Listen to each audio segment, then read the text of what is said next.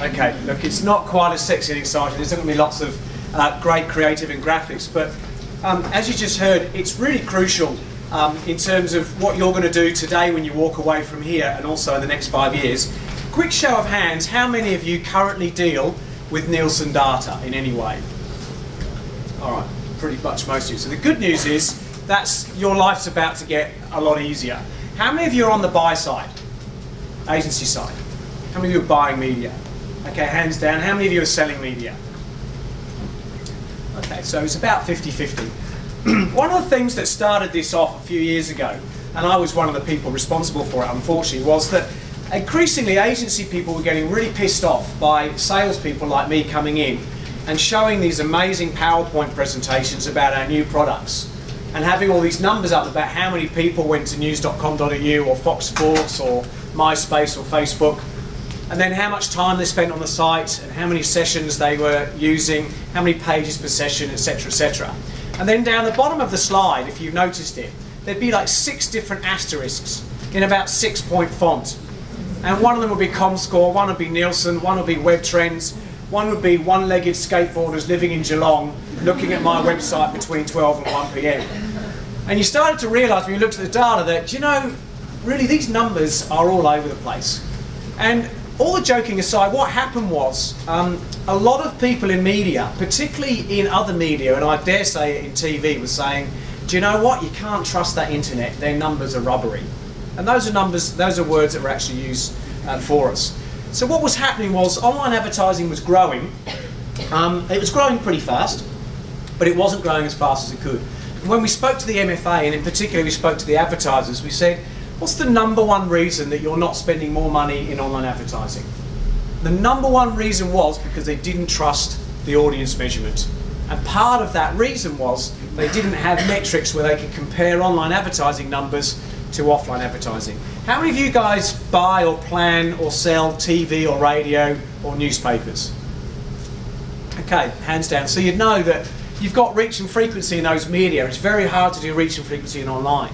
You also know that a cost per thousand in TV is a cost per thousand people in a particular audience. So if you're buying CPM on people 25 to 54, you're getting a people-based metric. CPM in online is a thousand impressions.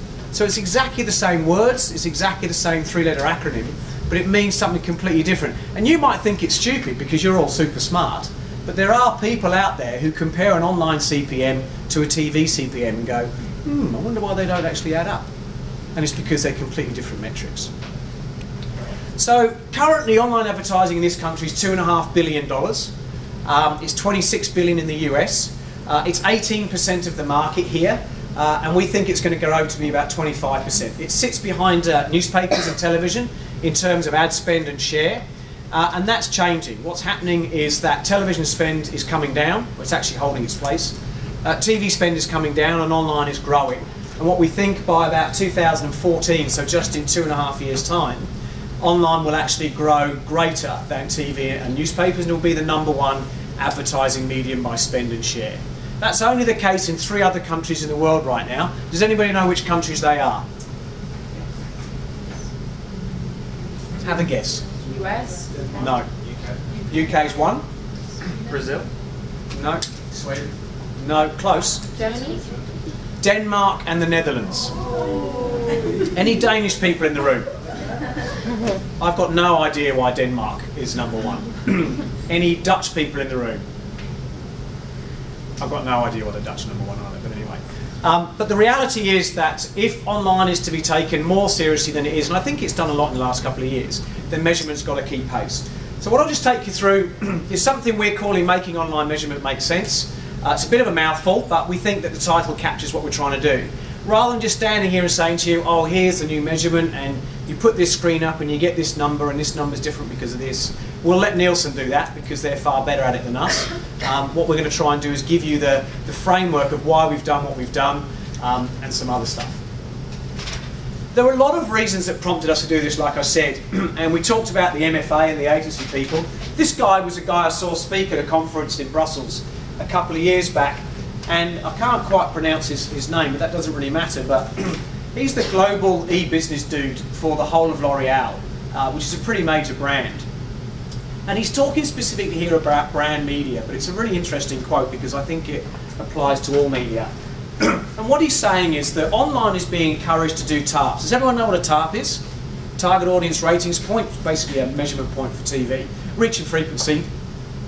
And we've been using those metrics, your, your forefathers, your predecessors, have been using those metrics for 60 to 100 years in selling, in buying, planning and buying uh, TV and newspaper advertising. Um, I think what's going to happen in the industry now is that we will move in digital towards reach and frequency. In fact, we already have. And we'll move towards GRPs, gross ratings points, or TARPs as they're called here. They're called GRPs overseas. And we'll do that because that's what marketers understand. So if we're trying to get more money out of Unilever, Johnson & Johnson, Kellogg's, uh, Procter & Gamble, uh, Woolworths, Coles, all of these major TV and print advertisers who are not using online very much, what we need to do is really give them a set of metrics that they can understand. And those metrics are probably going to be GRPs or TARPs uh, and reach and frequency. But I think that's a phase that we're going to go through. It might last two years, it might last a bit longer, who knows, it might last less. And what I think we're going to get to is what George Edward is saying, and that is, what are we doing here? Are we taking the old metrics and applying them to the new technology? Yes, we are. Or should we be taking the new technology and applying them to the old metrics or the old media? And the reason I point that to you is that whilst we'll move along and do what we need to do to attract the investment we think that online deserves, you guys are the future of the industry. And I don't think anybody in this room would doubt the fact that the future is going to have digital at its soul. Whether you're planning and buying multimedia, which is probably what some of you are doing now, and most of you, if not all of you, will be doing in the next year to two years, digital will be a part of that, if not the actual central hub. So my point to you I want to throw out is that I want to talk to you about measurement for today, but I want you to think about measurement of the future. And in my view, I think this guy's captured it in one quote, and that is, how do we use the new technology and actually apply that to the old media instead of having 60-year-old metrics being forced onto the new technology. It's kind of interesting we're having that conversation in Google's building. So I'll just go through four things. I've got 25 minutes, I've been told, to give you time to ask some questions. Uh, we'll talk a little bit about um, what measurement I'm talking about specifically, because I think there's three buckets. We'll have a look at why we did it, which I've touched on pretty much, what's new and what's next. I just want to be really clear here that uh, we think there are three types of measurement in online. There's web analytics, which is pretty much, uh, you'd be familiar with, with Google Analytics, uh, other analytics products, uh, Omniture, uh, and other, uh, other products. And that's basically figuring out who's coming to your site, where they're coming from, where they're going within the site, how long they're spending, and stuff like that. We try and put that into a bucket of user experience. So it's not really about using it for media currency. In the middle, which is what I'm going to be talking about this morning, is the media currency part of online measurement. And that's about measuring audience from the point of view of making it a currency that you can plan and buy and you can trade as a commodity, if you like. And lastly, ad effectiveness. I think the great thing that digital does beyond any other media is allow us to measure the impact of advertising. So how many people saw that ad? how many people clicked on it, how many people shared it, how many people completed viewing that video, and more importantly, what did they do as a result of that? Did they go to a website? Did they fill out a form? Did they share it? Did they load it up on their social network? Did they comment about it? Or do, more importantly, did they actually walk into a store or buy a product online uh, or buy a product in a store as well? And I think that's the whole ad effectiveness piece. I'm not going to talk about that today so much because those two buckets on the outside uh, uh, warrant a, a, whole hour's worth of discussion themselves. So we're just going to concentrate on media currency. Web analytics, as I mentioned, there's a whole bunch of providers for that. Some of those names you'll be familiar with. You know things are complex and difficult when the Dummy series comes out with a book on it. So yes, there are web analytics for dummies. And if any of you in the room think, I've got no idea what he's talking about, I should go away and brush up on web analytics, cheat and go and buy the book online, just don't let anyone notice that you're reading it. Okay. Measurement that we're talking about, look, some, these are some of the brands that pitched for the IAB tender that we did. Uh, I'm not going to talk too much about it, but we, we basically had a tender. Uh, we invited people to submit their methodologies. We measured it against a technical specification that we had created uh, in conjunction with the MFA and also the advertisers. Um, so these are some of the common brands. Come a long way since then, haven't we? You guys don't remember that, do you? Because none of you were born nor was I. Um, and the advertising effectiveness stuff, look, there's all kinds of providers there. Some of those are common. You can see that people like Nielsen, Comscore, uh, Google aren't up there, but they provide a suite of products across all of those. Some of you guys are using different sets of products. Uh, really, you're going to be used what you're told to use, aren't you? Because it's an agency decision. Some of you work for global agencies, some of you work for local agencies. Um, but what I think is going to evolve, and what is evolving already now, is the tools that you guys have, uh, are going to have access to are going to initially, I think, make life more difficult. But the idea is to pick the tools that work really well, mesh them together, and then start to use two or three tools that make your life easier. How many of you are using Excel spreadsheets to do planning and buying? Come on, hands up. How many of you are using Excel spreadsheets? Shocking, isn't it? It really is. It's a great piece of kit, but for doing what we're doing, it just doesn't cut, doesn't cut it. Um, this is just, I just put this in because I think it's quite a nice picture and it's funny. Um, but uh, this is also moving towards what we're calling paid, owned and earned. Um, and the reality is that what we're dealing with mostly, particularly from the buying side or the sales side, is paid media. But now you guys are realising that that's not enough. What we're realising is that if we put $500,000 into online media, we can now measure what we own uh, in terms of what the client owns, uh, both on their own websites, on their social media websites, on their campaign websites, and also what media do we earn? How much exposure do we earn across social networking, Facebook, LinkedIn, Twitter, etc., etc. So you guys are having to measure beyond just simply what the stuff, uh, what, what you've actually bought. So why did we do this? I've kind of touched on this a little bit already, uh, just whizzing around the, the main reasons. The biggest reason is here, and I'll touch on this in a second. The two and a half billion dollars is being spent in online advertising right now. Uh, 1.1 billion of that is being spent on search. That's pretty much being done mostly direct by advertisers with Google, uh, less so with uh, with Bing and Yahoo. You guys, uh, in terms of agency land, are spending about 20% of that, uh, not so much. And of course, now there's specialist search agencies as well, which sometimes are within the media houses, sometimes they fall outside the media houses, as you guys know too well. Um, but the reality is that the display side of 600 billion, uh, million now, that's going to grow, that's going to double to 1.2 billion in the next three or four years. So if you think about everything that you're doing right now, think about the hours that you're working, think about the clients that you're managing, think about the number of campaigns that you're managing, think about the digital touch points that you're buying from, and think about all the reporting that you're doing, and double it. Did someone just say shit? and so this is why it's important. If, if we could persuade marketers to dump their money into online overnight and it doubled overnight, what would happen? Apart from everyone saying shit. The reality is it would crumble, so we need to have some kind of infrastructure in there to build to build it so that it's like the foundations of a house. You don't want to build a really great house with a swimming pool if the foundations aren't strong enough because eventually it's just going to crumble. We want to have the best house on the block, but we want the house to be functional and long-standing. So we've got to make sure the foundations are, are, are solid. And we think that measurement's one of those foundations. Um, as I said before, a number of you guys and your, your seniors were saying, look, we're fed up with seeing numbers of data on a slide. We just want to have one. Uh, we've got one in TV, we've got one in newspapers, there's about to be two. Uh, we've got one in magazines, we've got one in outdoor, we've got one in radio. Why can't we have one in online?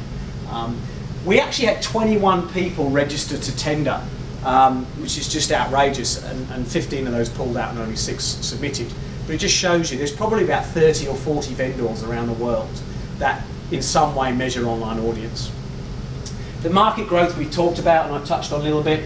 Uh, the credibility I talked about, rubbery numbers, that we know for a fact there were senior television execs saying to media buyers and saying to clients, look, keep your money in TV. If you've got to do any of that online stuff, just do that direct response thing, that performance thing. Leave all your brand money in TV and do DR online. Uh, you can't trust the numbers. And what we're now seeing is we know that DR works. DR works really well. We also know now that brand works online as well. And we know that it works particularly well with TV and with print. So what we want to try and encourage is advertisers to actually allocate more money away from TV and print into online as well. Um, so we're trying to actually remove that argument away. we know from the UK and Denmark in particular, I don't know about the Netherlands, and Germany, even though they're not number one, but we know that where they went to a single currency or a single standardized metric for audience measurement, the market grew. Basically, people like yourselves, the planners and the advertisers themselves, they had more confidence in the numbers, they knew they were credible, they knew they were audited, and most importantly, they could compare them with TV and newspapers and other media. But once they could do that, they basically then started to shift more money into online because they found it was more cost effective. Uh, and lastly, I've just touched on there about that, that, comparability. I think the top one really is the crucial thing. We wouldn't have done this. When I say we, organisations like the IAB represents about 80%, 80% of our members are on the sell side and about 20% are on the buy side, including some of your agencies. We probably wouldn't have done this as quickly or as vigorously if you guys hadn't have kicked us up the arse. So quite frankly, this was driven by you guys. So you have now got what you asked for. You might be sitting there thinking, I didn't ask for this. Well, maybe you didn't, but some of your seniors did. Here's an illustration of those numbers from PricewaterhouseCoopers. Uh, 2010, you can see that total online spend was two and a quarter billion. That might be quite hard for some of you guys to see. Uh, and we can see here that display was about 600. Um, what you can see as we go over to 2015, you can see here that search will be over 2 billion, um, display will be over a billion, you don't need to worry about classes, and total expenditure will be over $4 billion uh, uh, as well. Just to put that into perspective, a compound annual growth rate is the average percentage that something will grow every year over the period you're looking at. So what we're saying here is that display is going to grow 14% every year for the next five years. Who could tell me how much TV and print are going to grow every year for the next five years? TV is going to grow 3% and print is going to grow 1.9%. It's just outstanding. So there is a massive structural shift going on uh, in expenditure. And what you can see here is that acceleration in display spend is going to happen in the next two or three years. There's lots of reasons for that. Uh, measurement we think is one reason, but also we think there's going to be a lot more creative opportunities and also advertising and social media is probably going to drive that uh, along with video. In terms of where everything sits right now in share, newspapers have about 28%. Who can tell me how much the total advertising market is in Australia uh, a year? I'll give you a clue, it's in billions. If you don't know, shout out a guess. 14. Lower. It's not the price is right. Sorry? Higher. Nine. Higher. 11, Higher. 12, Higher. 13, Higher. 16, Lower. 15, Lower. Thirteen and a half. Lower. 13 and a half. 13 and a half. You were very close. Did you know or were you guessing? So $13.5 billion is spent in advertising across the whole of all media. Newspapers has about 28% share of that. Free TV's got about 26%, and online is now about 17%. In fact, the six monthly figures have just come out. That's now 19%, that's 24, and that's 25. So the shift is, is going on. That's just all about different screens and devices. How many people here have got a laptop? Your personal laptop? Hands down. How many people of you have got a smartphone that you access the internet from? Hands down. How many people have got a tablet? Yeah. So you're accessing all those devices um, on uh, multiple browsers. How many of you use more than one browser? i.e. Chrome, Firefox, Safari. It's pretty scary, isn't it? So we've got multiple devices, we've got multiple browsers, and even some inventive dudes now in the US, uh, cars are being equipped not with sat navs, but with iPad holders uh, or tablet holders, which sync, of course, in Bluetooth with their car system and with their smartphone as well.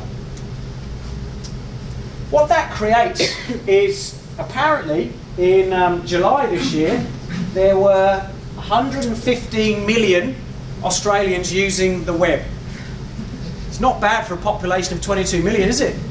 My God, we're multiplying. Everyone's out there doing it.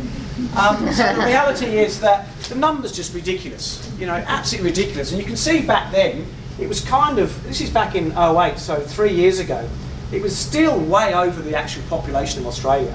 Here's the population here. so one of the drivers was in realising that more people were buying more devices, more people were using multiple browsers on each device. we were counting all of that using a tag system, but of course the numbers were just getting utterly ridiculous. So that was another big reason for doing it. Here's an interesting Morgan Stanley projection as well. In 2014, what they predict is that the internet access globally will be higher from mobile devices than it will be from desktop devices. That's only two and a half years away. Just think about that, all the hours that you spend on the internet. You guys are probably already there because you're Gen Y, you're at the forefront, you're early adopters, you're in a country that has easy access uh, to technology. But this is globally, every country in the world, when you add them all up, more people will be accessing the internet from mobile devices. So those are the reasons why we had to do something about online audience measurement. What's new? Look, there's a nice little shopping list here, which I'm not going to go through uh, all of them. Um, the key ones here are people-based. When I showed you that 115 million, it was unique browsers, UBs. It's just not a people-based metric. So we were doing a comparison of unique browsers, a, a technology-based metric, uh, with people through reach and frequency or audience with OzTAM panels and so on. So what we've moved towards now is a people-based measurement uh, system uh, and people-based metrics. It's now called unique audience. Uh, look, it's not a sexy metric, but it's a people-based metric. And you can actually compare UA with a TARP or with a, a person or with a thousand uh, in TV or reading a newspaper or magazine. What Nielsen have done, and they've spent 12 years doing this, is they've taken the best of panel-based systems and a tag-based system. I'm not going to go into technology here. If you're really interested, talk to Nielsen. Uh, they're going to come out and do a whole bunch of user um, interface sessions with you guys anyway, if you're their clients, and they'll take you through all of that. Reach and frequency, even though we don't think RNF uh, is ultimately where the industry will end up, we think that RNF is good for now, and it gives that comparable metric for, for advertisers and buyers with, with other media. Um, so you're actually going to have a, a, credible way of doing an RNF now. You can pull up an RNF on your TV media schedule, you can pull up an RNF on your online schedule, and you can deduplicate them and actually compare the two. What you can then do, of course, is put in your fees or your costs, and you can actually do a cost per reach analysis, and you can do an effective CPM analysis across both those schedules. And that's why we think we're going to see a migration of money out of TV and print particularly print, into online because we're going to see effective CPMs a lot lower in, um, in online. And you guys know if you want to buy premium over here, you can offset the effective CPM or the average CPM over here by doing some extended reach, higher frequency stuff. You can also reach light TV users. So for all those reasons, that's why we think that money's going to migrate. The big point for you here is, look, I think this is quite subjective, but Nielsen is saying the user interface is a lot more sexy. I don't know how you get a sexy UI for a data, a piece of data. Uh, but anyway, uh, the main thing is that it's improved. It's supposed to be a lot more user-friendly. If you guys think it's crap, or if you think it's bad, or if you think it could be improved, you need to tell Nielsen, because then they'll hopefully take all that on board uh, and they'll adapt it to your needs. That's boring. So in essence, the five big things that uh, the new measurement system does, um, it captures data from home panels, or measuring people's usage at home. It measures people's usage at work, and for the first time, it measures people's usage in other locations, libraries, internet cafes, uh, universities, shared home, uh, shared computers and other devices. We've talked about it measuring people, not devices. Uh, we talked about it being comparable with other media um, being a lot more accurate. Uh, and also uh, the big one, of course, is that now we've got that people-based system and we can do reach and frequency. We can now measure video a lot more effectively, and I think that's really where a lot of the future is going to be uh, in terms of branded, uh, branded advertising. This is this merger of um, panel, the strengths of a panel and the strengths of tags. Uh, some of this will mean stuff to you, some of it won't. Um, I don't really want to spend too much time on that because I don't think it's is as important, um, is that really. Um, what really is interesting is that um, when we kicked in uh, the RDD methodology, so RDD is random digit dialing, where basically a bunch of people phone people up and say, would you like to be a member of a research panel, yes or no? I think for every thousand people they call, they get about one. Maybe they get six, I don't know, I can't remember what the number is, but it's very, very small very expensive, but statistically, it is the most robust system of actually uh, creating a panel. So what they're saying here is they've got a merger of people recruited through that system and also recruited through online. Why do you think it's not okay just to recruit people online?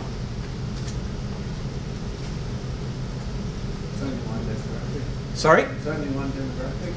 Yeah, maybe, yeah, maybe, maybe the demographic skew. What else? What else is skewed if you're recruiting them from online? Yeah, their online usage. So you can just imagine the TV and print guys, can't you, if we had an all online recruited panel.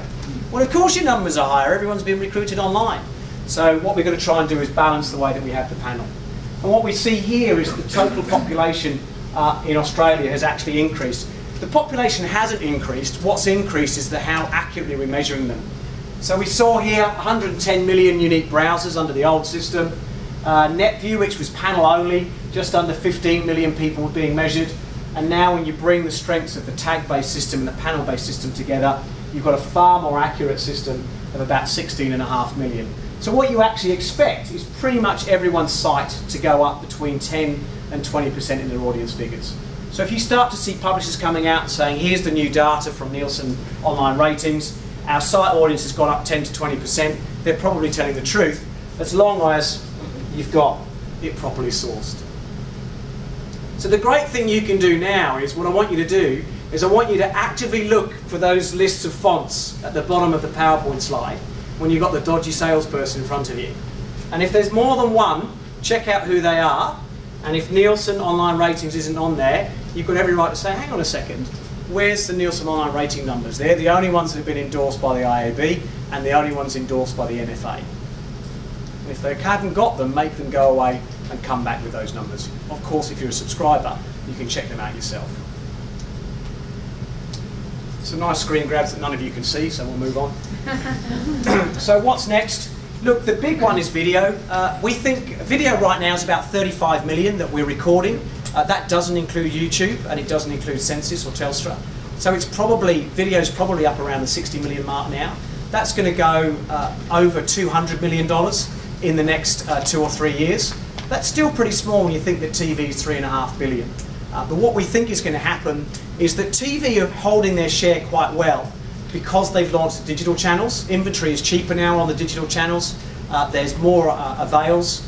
Um, so you guys have got more access to, to, to get your TARP schedules up there. So we actually think that clients are going to be comfortable with their TV schedules. What we don't think they're going to be comfortable with is print. And the circulation readership figures of Metro newspapers are dropping, as they are from magazines as well. And we think there's going to be a migration most likely out of Metro print uh, and into online and probably into online video. And that will allow uh, advertisers and buyers then to access those light TV viewers and also to get your frequency up. If you're struggling with your budget, which everyone is, to get the frequency that you need on TV, then what you can now do is up that frequency and also incremental reach as well through online video. Uh, using the panel and the tag data, what will allow that'll allow us to do is take all of that new data we've got now and cross uh, compare it with the TV OzTAM data and deduplicate it as well. Mobile, of course, is the next big one as well. Look, everyone's talking about mobile. Consumer usage is exploding. You guys are a testament to that. The reality is we don't really know how much money's been spent on there in advertising. Um, the figures range between 8 million and 50 million, which is a massive figure. Uh, my own gut feel is it's between 8 and 12, which isn't very much. But the reality is the percentage usage is about 50%.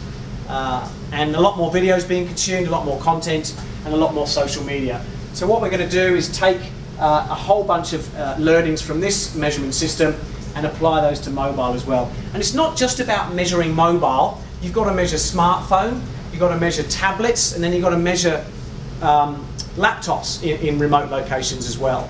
And then what we're going to try and do is pull that together and then cross-match that to the online usage in the work and in the home. And then what you've got to try and do is, is deduplicate it from other usage for example, when IPTV comes in, when is someone using a tablet and when are they watching TV? The reality is that from what we're seeing overseas, they're going to be done concurrently. So we need to figure out the measurement for measuring the audience um, uh, distinctly between devices and also their concurrent usage as well. What you guys want to know is how can I reach, engage and influence someone, the same person, when they're watching Grey's Anatomy online, uh, sorry, on TV, and then when they're using the Grey's Anatomy iPad app as well and maybe even the next morning if they're doing something on their iPhone or their, their smartphone. So mobile and video are going to be the two next big things that we're going to have a look at. Here's just a snapshot of what we think is going to happen. So uh, the retail industry, uh, the retail sector, so Coles, Woolworths, JB Hi-Fi, Bing Harvey Norman, they currently spend $1.5 billion in advertising on all media. Actually, that's not true. They spend 1.5 billion just in TV and print. FMCG. How many of you have got FMCG clients? How many of you got retail clients? Quite a few of you. So FMCG, Johnson & Johnson, Unilever, Kellogg's, you know the brands. Uh, they spend 700 million just in TV and print. So 2.2 billion dollars is being spent in TV and print, two media, by two industry sectors. Those two sectors together spend 70 million dollars in online. So you've got 2.2 billion over here and 70 million over here. What do you think is going to happen? That is going to move to that. We don't know how fast, we don't know how much, but that will not be 2.2 billion next month. It won't be 2.2 billion next year, and it certainly won't be 2.2 billion in the next two to five years. Same with that 70 million. Now that we've got accurate measurement and we've got measurement that you can compare all media with, we expect that flow to accelerate. So to sum up uh, and finish off, basically what we think is that whichever media you're planning and buying, whichever media you want to measure, uh, measure whether it's digital radio, print, tablets, or any other device or, or publication, we think that digital is going to be at the very heart of everything that you do. Um, whether it's one or two of those or all media, uh, it's clearly going to get more and more complex and measurement is going to be key. The bit we haven't talked about, that's a cute picture, isn't it? No, it's not my son. Um, the bit we haven't talked about is engagement, and, and that's really where we start to get into advertising effectiveness measurement. So just to recap, what we've focused on today is about trying to measure people so that we can use them as a currency to plan and buy advertising. How many people will this campaign reach? How many times will they be reached? And what's my ROI going to be? What's my effective CPM going to be? And what's my reach and frequency going to be? And how can I now compare that with what I would be doing on TV or print? And that then gives you an insight as to whether you're spending your money more and more effectively. We haven't talked about engagement. Uh, we haven't talked about advertising effectiveness. We might do that next year or at a whole other session. So just to summarise, those are what we think is changing. Uh, it's the most accurate system in 20 years.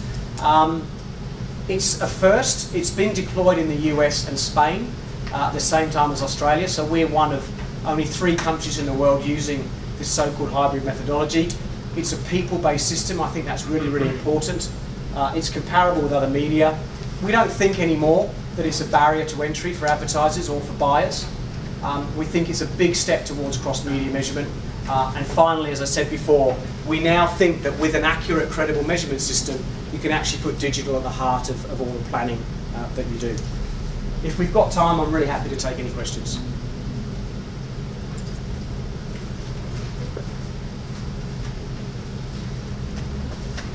Any questions? So did you learn stuff about measurement? Because I did. And I thought I knew a little bit, and I sort of feel like I learned a lot. So thank you so much No,